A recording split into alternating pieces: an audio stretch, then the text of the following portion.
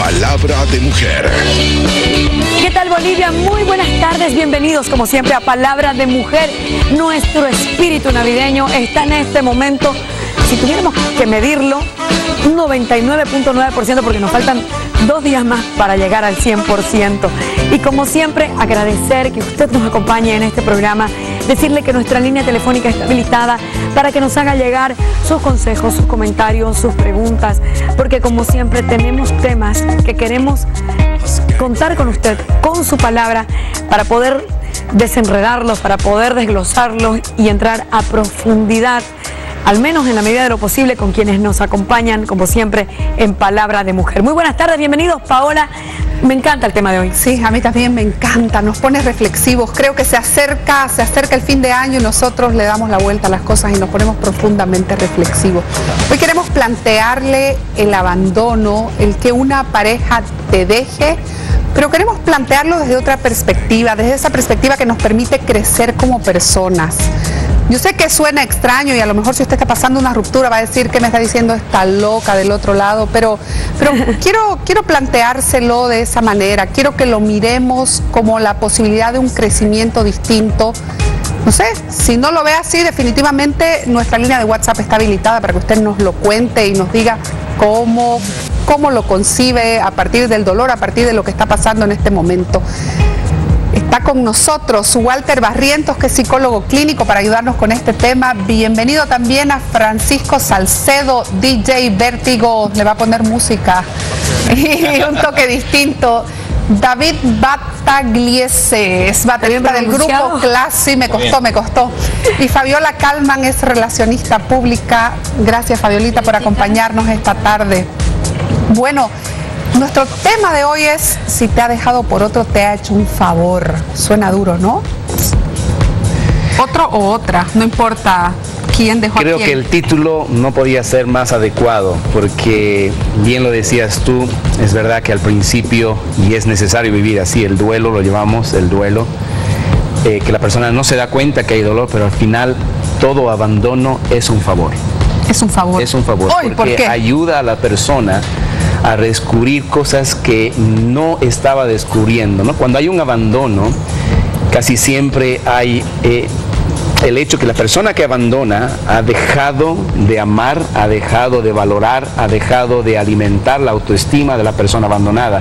Y por lo tanto esa persona no se da cuenta de eso y está agarrado del deseo de continuar y cada vez pierde más y más el concepto que tiene de sí mismo, de sí misma, su autoestima y por eso eh, duele tanto, justamente por eso duele tanto, pero es tan beneficioso. Yo les quiero, les quiero preguntar a nuestros invitados, ¿han sido abandonados alguna vez en su vida? Por supuesto. Obvio, ¿no? Sí, ¿Alguien, vez alguien sí. que se pueda... Sí, sí, sí. ¿Sí? ¿Todos vez. positivos, todos abandonados? Lo- lo- Dejada, dejada de verdad varias veces. Yo he dejado una sola, pero a mí me han dejado varias. ¡Ay, me encantó! ¿En serio? ¿Qué se aprende? lo mío fue en realidad un poco más neutro, fue mutuo, ¿no? como un acuerdo en realidad, ¿no? Porque Ah, Ese no cuenta.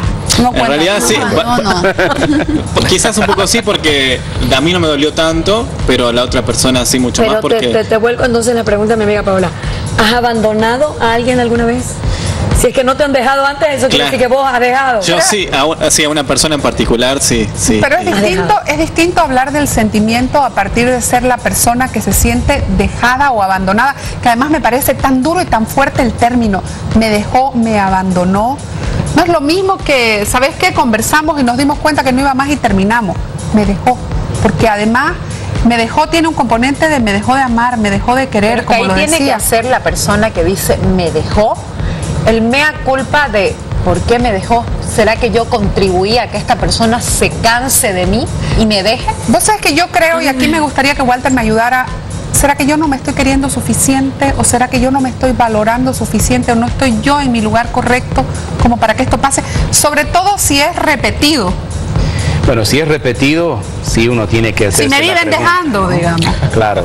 Pero normalmente eh, cuando una persona es dejada varias veces y por distinta manera, digamos, distintos modos, por distintas personas de distintos caracteres, entonces el problema está tal vez en la manera de amar de esa persona que ha sido dejada, ¿no? Porque a veces una mujer o un hombre pueden querer concentrar todo en la relación, ¿no? Y entonces una persona se enamora de sus valores, todo, y de pronto se asfixia por la relación y dice, no, no, yo no quiero seguir aquí, y encuentra otra persona que en ese momento funge de amigo, de amiga, y después descubre valor y la deja, ¿no es cierto? Porque casi siempre buscan una manera de salir de una trampa o de una cárcel, de un encierro. Pero lo más común, lo que tú decías, ¿no? Una persona que es dejada, que es abandonada por otra persona, eh, normalmente eh, lo es sin preaviso, sin imaginación, y entonces por eso es tan doloroso, porque no la persona está imaginando que todo va bien y que hay problemas como en toda relación, pero que están marchando, que tiene planes y de pronto no hay nada. Y cuando se entera que no solo no hay nada, sino que es por otra persona y casi siempre por una persona que conoce, que ha visto en un ambiente, una amiga, una compañera, un amigo, es terrible. La verdad que es un golpe duro, sobre todo la autoestima, porque no es solo el hecho de ser dejado porque que si no le gusta cómo cocinar o realmente en la cama no se entiende, no sé, es ser dejado por otro, es ser cambiado, eh, eh, es una situación que tiene un agravante aún mucho mayor. Yo me, yo me quiero agarrar de, esto que decía Walter y les quiero traspasar a ustedes un poquito la consulta.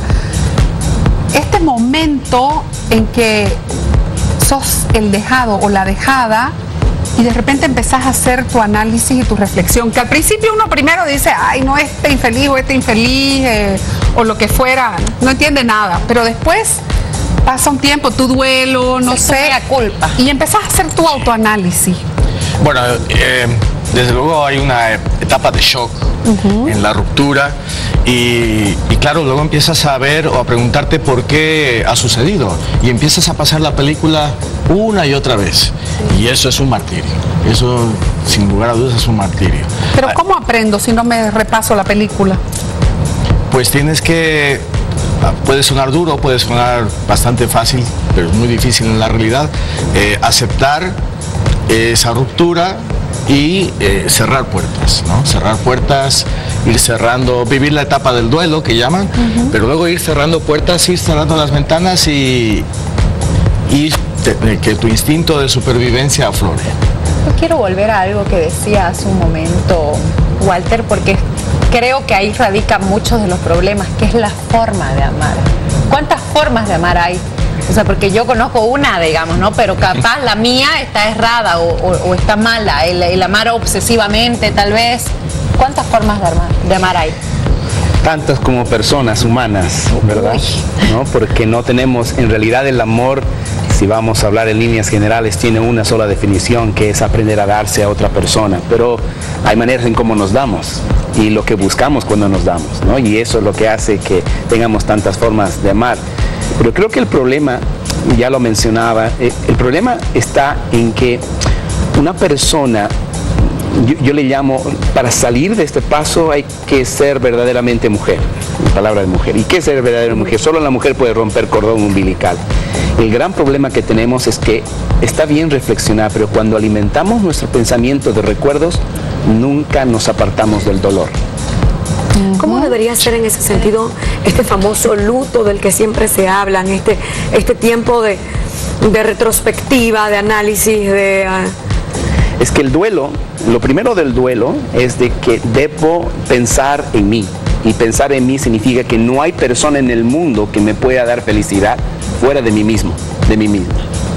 Entonces, si yo pongo tanto poder en otra persona, sea quien sea, mi padre, mi madre, mi hermano, mi, mi amiga, enamorado, enamorada, esposo, esposa, si yo pongo tanto poder sobre un ser humano y que no voy a ser feliz en esta, ya está, ya tengo una derrota y lidiar con eso requiere mucho tiempo, mucho trabajo y terapia sin duda, ¿no? Pero igual duele, digamos, ¿no? aunque no sepa, aunque no sepa, igual duele. ¿Qué debo hacer? Debo, llorar, debo escuchar las mezclas románticas cortavenas que haga el DJ Vértigo. ¿Qué, no debo hacer? Hay que hacer otras, hay que hacer además, ¿Cuánto es sano ese duelo? Porque, bueno, ya por este pasaje en duelo cinco o seis meses conozco personas que hace 10 años están, Ah, no, están en el duelo, digamos, ¿no? Y, y, Eso y se han vuelto a casar o algo, pero vuelven al duelo del primero, porque este cuando me dejó, que no sé qué. Te juro que, y las conozco. No superás el te dejó. Es que- Es que el ¿Cómo debe primero es ser ese duelo saludable? Y luego viene la negación, que no aceptas que te está pasando eso, no aceptas que el tipo o la tipa te dejó, ¿no? Fabiolita está atorada ahí con algo. Sí. Claro, lo que iba a decir es que el, el dolor es inevitable, obviamente, pero creo que duele diferente, depende de cómo te lo tomes. Claro que o sí. sea, eh, pucha, estoy deshecha, estoy destruida, que no sé qué, pero yo sé que no tengo la culpa. Eh, yo sé que el problema no está en mí, está en, en la Pero otra persona. ahí- ahí- me va a doler diferente. Pero ahí es donde yo quiero, yo quiero ir. Ese me parece que es el meollo del asunto. No mirar el problema está en la otra, sino qué saco, qué aprendo yo del me dejó. Que Eh. ¿Cómo me fortalezco? ¿Cómo lo vivo de otra manera? En base a lo, a a lo que nos decía Walter, el hecho de que no le puedo entregar mi felicidad, mi todo a nadie. Y por eso, ahí está el dolor, pero con el dolor va a venir el reconocimiento de que mi mundo no termina porque esta persona se fue de mi vida. Entonces, cuando tengo eso que yo sé, duele, es difícil, pero tengo la claridad de que mi vida continúa a pesar de esta ruptura, entonces mi duelo ya no se alarga tanto y mi duelo pasa a un momento, en vez de ir a, a la negación, a afrontar, no enfrentar, porque el problema claro, es que queremos enfrentar nuestros sentimientos y no debemos luchar contra nuestros sentimientos, debemos afrontarlos. Y la forma de afrontar un sentimiento es reconocer, bueno, y ahí puede haber una, una cosa mixta, ¿no? Porque todos debemos aprender lo de siempre y siempre una experiencia, ¿no? En toda relación hay dos y cuando se rompe algo siempre hay dos. Es verdad que puede haber una culpa muy clara, muy directa, como la infidelidad, como la ruptura por otro, pero uno tiene que tener tiempo para revisar qué parte de responsabilidad tengo yo en lo que ha pasado. ¿Por qué? Porque entonces esa experiencia se ayuda a que uno no vuelva a repetir el mismo error. Es decir, ahora sé que no tengo que dedicarme solo a esto, tengo que dedicarme a mí también, no tengo que dedicarme a concentrarme en mi pareja, no tengo que dedicarme a salir todo el tiempo. Si uno evalúa qué es lo que ha hecho y descubre que hay cosas que han sido exageradas, este momento de reflexión de lo que yo tomo control, porque si no, nunca tendría la posibilidad de cambiar. Si el problema solo es otro, entonces tengo que tratar de buscar otra persona que no sea como él. Pero si descubro que hay algo en mí, el cambiar algo en mí me da control y por lo tanto tengo ya el siguiente paso para mejorar. Yo puedo ser una mejor persona y por lo tanto yo puedo tener una mayor capacidad para buscar una persona o cuando aparezca reconocerla que yo merezco. Perfecto. Para poder llegar a eso hay que atravesar un duelo después de una ruptura. Revisemos cuáles son las etapas de este duelo. El shock, ese primer instante de paralización y desorientación. Ese es, lo estabas mencionando. El shock, ¿no? sí, todo se descoloca en tu vida. Tú tienes unos, unos planes, unos horarios, hasta una gente que conoces y que ves, y que después del shock de la ruptura, eh, todo eso cambia, estás descolocado, no sabes qué ¿Para hacer. quién los amigos? ¿Para dónde vas a aprender? Sí, Influ- ¿a dónde, no? Influye mucho también en las relaciones interpersonales porque, por ejemplo, yo soy eh, divorciado, estuve tres años casado y fue una ruptura, digamos, donde yo decidí terminar con eso, no por un tercero, sino por una decisión de falta de complemento. O sea, y como hablábamos eh, fuera de cámara, la desatención de la otra persona. Entonces cuando una persona es indiferente, no te apoya en tus proyectos, no te apoya en tus sueños, en lo que a vos te gusta hacer, no lo que él quiere que sea o que lo que ella quiere que Pero vos ¿qué seas. aprendizaje, por ejemplo, sacas después?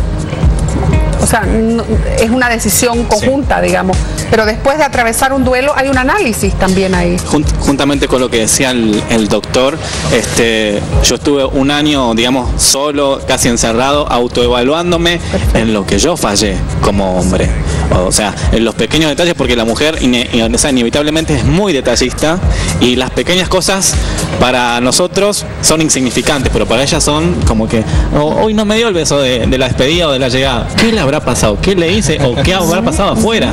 Entonces, Entonces, son esas cosas, pero para mí lo más grave es como lo, lo planteamos es cuando nos dejan por otro, eso para mí es, es mucho más tajante y, y a, a la vez eh, dañino para el alma que cuando nos dejan, digamos, por simplemente por el hecho que no, no nos funciona. yo conozco muy de cerca el caso de una amiga que estaba casada y que su esposo se fue con otra persona, pero que ella me dice años después, hecha la revisión y hecho el, el- el autoanálisis muy profundo, años después, su conclusión es yo abandoné esa relación mucho antes. Yo no estaba en eso, yo estaba, yo estaba en mi trabajo, yo estaba en mi vida, estaba en lo que fuera, pero no estaba en la relación. A lo mejor se había ido el amor estaba desconectada. Pero ese aprendizaje llegó después, Capaz- cuando la dejaron. Capaz que, Claro. mira, ju- justo el ejemplo, yo creo que nadie cuando ha sido dejado o dejaste, a los tres días decís, ah, la veo la historia No, así. imposible. Es mucho después, es dos, tres, seis meses después, cuando de verdad todo lo ves de palco y las cosas están totalmente claras y viste si te hizo bien dejar a esa persona o fue que, pucha, le Pero ¿qué pelaste. pasa con esto que por lo que opta la mayoría? Un clavo saca otro clavo. que en realidad no existe, porque si usted ven hasta físicamente, un clavo mete el clavo más adentro, nunca lo saca. Hasta físicamente, si voy con el clavo, lo voy a meter más adentro. Entonces, eh, eso es lo que me pasa y me pasa en terapia. En realidad, eh, hay varias formas, en el shock hay varias formas de enfrentarlo en forma negativa. Primero, negando. O sea, me impresiona, pero no pasa nada. Él se pierde o ella se pierde, yo soy esto, pero en realidad el dolor lo estoy negando. Cuando lo, lo niego, lo reprimo, va a explotar de otras maneras. Entonces es una, es una salida equivocada. Otra forma es esta, ¿no es cierto? Bueno, yo necesito no estar pensando en mi dolor, no estar pensando en lo que pasó y entonces me tengo que vengar. Y la forma de vengarme es estar con otra relación. Y entonces no me doy cuenta que puedo usar a otra persona y hacer lo mismo que me han hecho a mí y de pronto destruyo los sentimientos de otra persona supuestamente para tratar de calmar los míos. Y entonces se me une al, al dolor el sentimiento de culpa. Mamá, le preguntamos precisamente a la gente qué hay de este dicho tan popular de un clavo saca otro clavo. ¿Qué creen? Palabra de mujer. Puede ser que, que reemplace a esa persona. Igual son experiencias totalmente distintas, ¿no? De una persona a otra va, va cambiando la situación. Cuesta olvidar a un amor y ves a otra persona y piensas que con esa persona vas a olvidar a otro amor. Me parece que no. Te refugias en alguien. No me parece que un clavo saca otro clavo. No, no estoy de acuerdo, porque un clavo siempre es un clavo, ¿no ves? Entonces no vas, no vas a, a resolver otro clavo. Entonces sería con otra cosa, paciencia, algo así. No, porque una persona, digamos, no puede, no puede ser reemplazada por otra. No creo, yo creo que si uno tiene una, una relación que no está yendo muy bien, yo creo que, bueno, deberían de, de charlar, conversar, digamos, ¿no? No buscar, digamos, otra relación, otra persona mientras está con la otra persona. Puede ser cuando, por decir, para olvidar a una persona, puedes, podemos reemplazar por otra persona, ¿no? No, no creo. El tiempo. Para otro sacar a otra persona al corazón el tiempo ya. Eh, cuando llegas a querer a alguien, no, otra persona no te va a hacer olvidar a la persona que quieres. O tal vez por el momento ya lo superas o ya se vivido otros momentos, pero no saca otro clavo. Cada persona es una persona y, y tenés que vos quemar tus etapas. Te olvidas de alguien y empezás a crear a alguien después. Palabra de mujer. Me encanta la madurez de esta última, esta última entrevistada. Quemar, se la ve muy jovencita, pero ella dice quemar tus etapas. Atravesar, ¿no? Así es. Además nadie, nadie reemplaza a nadie. Porque todas las personas son Todos somos clavos distintos. Exacto, todos somos clavos diferentes. porque si te- ¿Sabes vos qué pensaba yo? Que otra de las etapas difíciles de este proceso de duelo, cuando te han dejado por otra persona, es el proceso de comparación constante que a veces te hace más daño que la ruptura en sí. Tu cabeza. El de mirar a la nueva pareja que ahora ocupa tu lugar, que nunca fue tuyo porque nadie es de nadie, ¿no? Pero mirarla, para criticarla y mirarla, para envidiarla, para, para decir yo hubiera hecho esto así. O, eh, eh, esa, esa constante comparación me parece que es más veneno que el... Que el Pero esa que te juega netamente tu cabeza, ¿no? obvio. ¿Y qué es la constante compar- comparación que utilizas cuando, cuando caes en este jueguito de un clavo saca otro clavo? Porque sin querer, de manera inconsciente, le ha pasado a una amiga. Comparás constantemente todo de la nueva pareja. No, y vos, digamos, si estás en el rol de, de me dejaron por esta, yo me comparo constantemente con la persona que ahora está en el lugar que yo quería estar. ¿Entendés? En el de, o sea, él siempre toda la vida me dijo que le gustaban rubias y mira, y ahora está con una morena.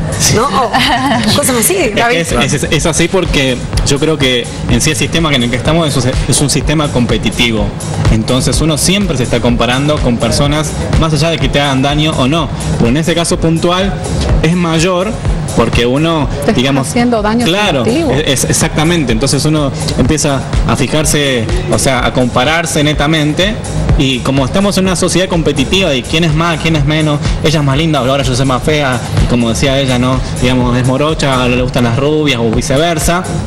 Entonces uno no, no, no llega a entender, pero siempre está comparando y compitiendo. Y te lastimás. Sí, exactamente.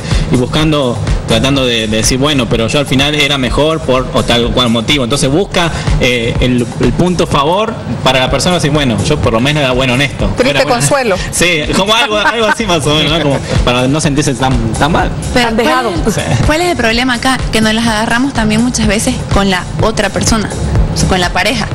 Y la pareja no tiene la culpa, no tiene idea de cómo viviste vos con él y, y cómo fue tu relación, no sabes lo que Y él aunque le dice tenga, de vos. No tomó la O sea, decisión. pero siento que una vez más estamos mirando afuera Sí, no, no. cuando Claro, lo que cuando tenemos que hacer que es mirarnos mirarnos nosotros. Sí, por. Vamos a seguir repasando las etapas del duelo en nuestro cuadro, por favor.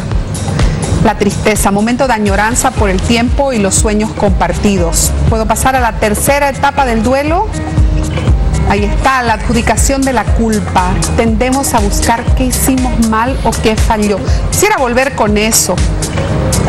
Este tema de la culpa tan delicado frente a la responsabilidad, al autoanálisis, cambiarlo a lo mejor por culpa, que más daño nos puede hacer que ayudarnos. El duelo bien vivido hace que las siguientes dos etapas sean cortas. El duelo mal vivido hace que las siguientes etapas sean largas. ¿Qué quiero decir con eso? Cuando una persona en el duelo no puede todavía imaginarse, comprender, soportar el haber sido abandonado, abandonada, entonces la tristeza es un alimento. A eso me refería con el cordón umbilical. Entonces estoy constantemente, voy por un lugar y lo que quiero ver, ah, aquí hacía tal, como algo, ese tipo de helado, eso le gustaba. Estoy con la música, lo que yo quiero es alimentar, porque la mente es impresionante, la mente humana, ¿no? Basta que yo pida y ahí aparece, aquí tenemos un DJ, ¿no es cierto? Y nos pone la música que queremos, nos pone el recuerdo que queramos. En realidad no nos damos cuenta que estamos haciendo presente nuestro dolor pasado y seguimos haciéndolo presente y por eso el duelo continúa. Cuando debemos darnos cuenta que más bien en este tipo de circunstancias es un árbol de fotografías. ¿Y qué significa? No todos tenemos los eso, álbumes ¿no? al frente, lo tenemos eh, en un lugar y sacamos cuando hay un invitado y mostramos nuestra boda, mostramos nuestra niñez. Es una fotografía, pero sabemos que es el pasado.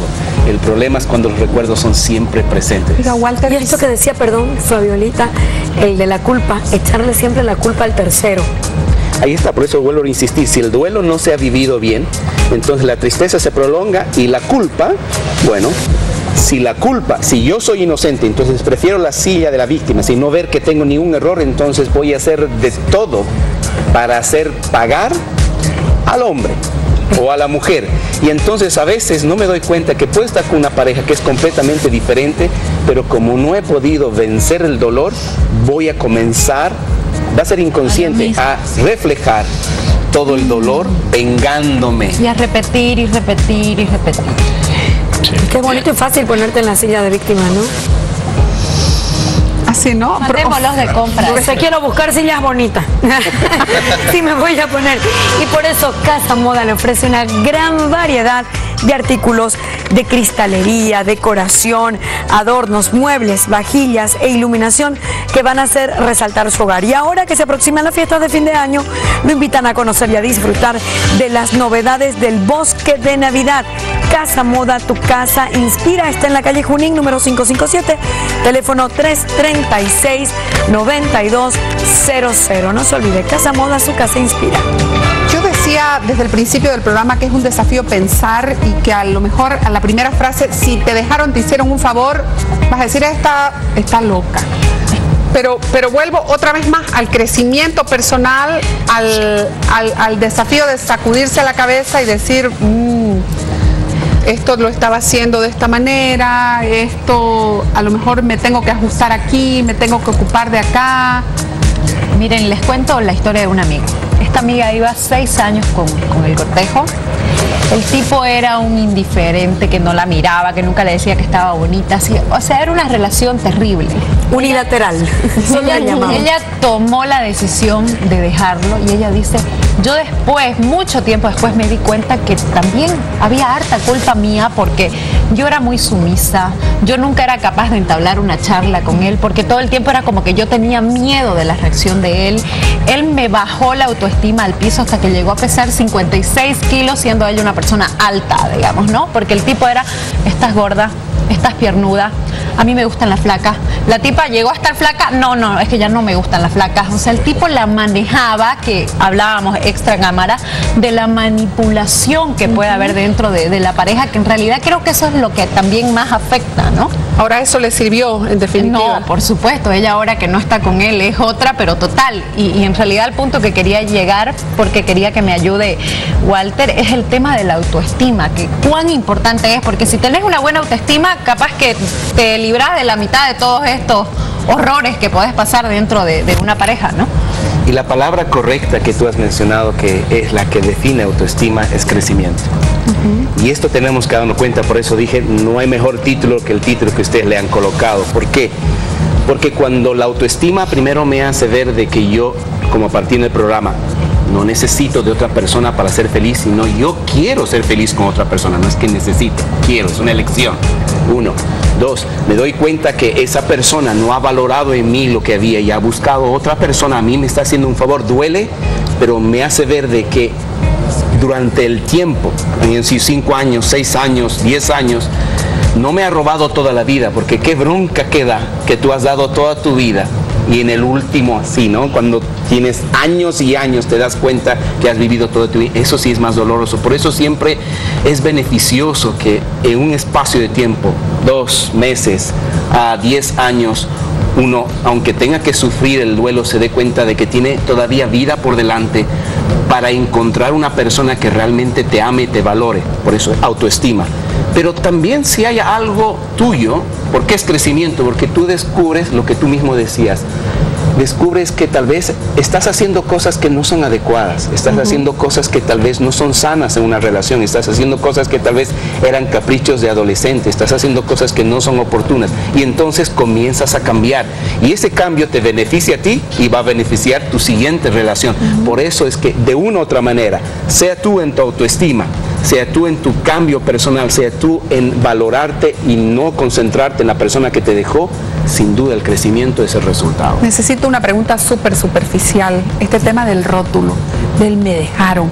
¿Cómo lo proceso y, y cómo, o sea, sé que es absolutamente superficial lo que digo, pero... Hice que me dejen. Sí. Es que mayormente la gente no le gusta reconocer que lo dejaron. Claro, por eso- O sea, Sí. vos no le vas a ir a contar a tu amiga, ¿no? O a, o a los conocidos. Pero dejó. ¿qué le decís No. cuando te preguntan? Y Lo terminamos. dejamos también se dice. Sí. La típica, yo primero lo dejé, él no me dejó, yo lo dejé, porque tratan de, de como decir, bueno, es una vergüenza para, para muchas personas decir me dejaron. Fabiolita, ¿qué se dice? Yo estaba tan triste en- con esa ruptura que yo le contaba a todo el mundo que me dejaron. que no podía creerlo, entonces yo le contaba a todo el mundo. Hacías tu, ca- claro, tu catarsis, digamos. Claro, es una Sí, forma es de, eso, de, de es sentirte bien. Hay que permitirse que te duela un tiempo, ¿no? Cada Es uno que- se libera es como que a veces puede. es positivo, ¿no? Lo que has hecho, Fabiola, no es es malo. ¿Por qué? Porque cuando uno reconoce, dice, me dejaron, ¿no es cierto? A veces del otro lado de uno puede venir, puedes creer, a mí me dejaron, o sea, ya eso es positivo. Porque tú te estás poniendo, puedes creer, y la otra persona, no, no, imposible, ¿quién te va a dejar a ti? O sea, ¿qué? Es un loco, ¿Es- ¿quién es un marciano? Entonces, a veces ese tipo de cosas pueden ayudar para eh, sobre todo hacerte redescubrir cosas que tal vez has dejado atrás, cosas que el muchacho dejó de decirte, dejó de ver en ti y que amigas, amigos pueden decir, mira, No, o sea, una persona que te da aquí que eres esto y esto y aquello y el otro, realmente tiene que ser un loco. A veces ayuda, no, No- no hay fórmula para todos. Quiere decir, la psicología ayudar a, a- a todos con una fórmula Sería dejaría de ser una ciencia social y pasaría a ser una Hay que ciencia verlo como, matemática, ¿no? como María Félix y su famosa frase, no todo el mundo está acostumbrado al lujo. Entonces, Quiero, creo que nos quedó una parte del cuadrito del duelo, la última etapa me parece que se nos quedó, ahí está. La resignación, aceptar que la relación ha terminado y empezar a crear distancia con esa persona. Eso es Y queda un puntito más, el último, el último de la etapa del duelo, la reconstrucción. Tiempo en el que por fin empezamos a tener más días alegres que tristes. Y ahí está la clave del crecimiento, ¿no? El saber reconstruirse en base a lo que aprendiste y a lo que te dejó la relación, que suena a cliché, a trillado, pero Acept- aceptar y aprender a perder. Esta vez te tocó perder. Esta vez no perdiste, porque no perdiste. Estabas No, ahí está. preparándote. Cambia, por favor, el chip. Ojo, Claudia Camacho, ojo, cambia el chip. ojo. Pero perdiste, pero ahí empieza la retrospectiva, la pensar, Es la que yo estuve Pero es que no perdiste. Te a hizo el veces favor. perdiendo se gana, ¿no? ¿Eh? Correcto. Es como, Sí, eh, claro. este, qué sé yo, cuando perdés peso, pucha, ganaste, digamos, si es que lo necesitabas, ¿no? ¿Eh? Eh, cuando perdés eh, una persona que era absorbente, que te dañaba y todo, pucha, te fue bien, Toda digamos. pérdida te genera una ganancia. Sí. Pero esto tiene que ver también con que el ser humano aprende más a partir del dolor que de la gratificación o de la vida fantástica y maravillosa, ¿no? Y en todas las dimensiones, no solamente la de la relación. Pero esto que tú has dicho es fundamental. Si tengo en la cabeza de que de toda relación, no importa cómo termine, yo gano, Es que es porque me he dado, he sabido compartir, he sabido amar. Tal vez no me han respondido de la manera adecuada, tal vez yo no he hecho lo que podría haber hecho, pero siempre he tenido crecimiento y eso debe darnos a nosotros, que no hay relación que no nos haga ganar. Hasta hay una canción, ¿verdad? ¿No es cierto? Es mejor haber amado y no haber perdido que nunca haber amado. Totalmente ¿no es de cierto? acuerdo. Quiero agradecerles mucho, ha sido un placer conversar sobre si te han dejado por otro, te han hecho un favor. Gracias al psicólogo clínico Walter Barrientos, a Francisco Salcedo, DJ Vértigo, a David Batagliese, baterista del grupo Class, y a la relacionista pública Fabiola Calman. Un gusto enorme haber conversado con ustedes en esta tarde. Vamos a hacer un corte y en un minutito nos vemos aquí.